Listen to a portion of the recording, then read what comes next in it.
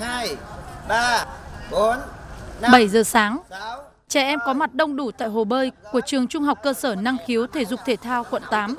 Bài tập bơi bắt đầu từ khởi động. mình phải cử động mấy động tác tay chân tay chân mình làm mấy cái động tác thể dục để cho nó giãn cơ tránh bị giống như là mình xuống nước mình vận động mạnh quá sẽ bị trượt Còn ở ngoại thành, các anh chị lớn tuổi hơn thì việc học bơi còn nâng cao với những kỹ thuật khó hơn. Hồ bơi Cần Thạnh, huyện Cần Giờ. Học kỹ năng cứu người, các em dường như quên đi cái nắng gay gắt giữa trưa hè.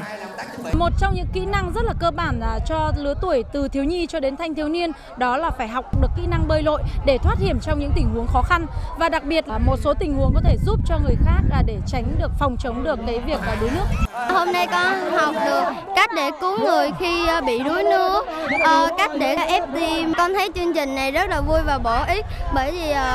nó giúp cho chúng ta rèn luyện được bản thân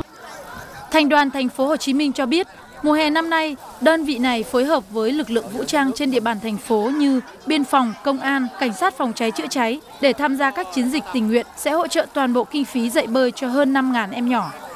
mong muốn là từ các em được ờ, hướng dẫn trong chiến dịch năm nay thì sẽ nhân rộng ra đến các cái trường học để làm sao tất cả mọi người đều sẽ quan tâm đến một cái kỹ năng rất là cơ bản dành cho các em.